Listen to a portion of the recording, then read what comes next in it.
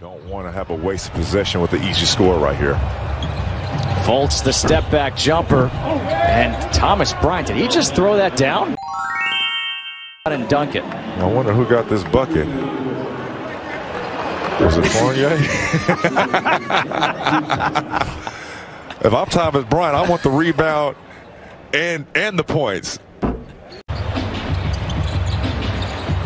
Object takes the handoff. Trying to find Lopez. Good hands. Throws it up and in.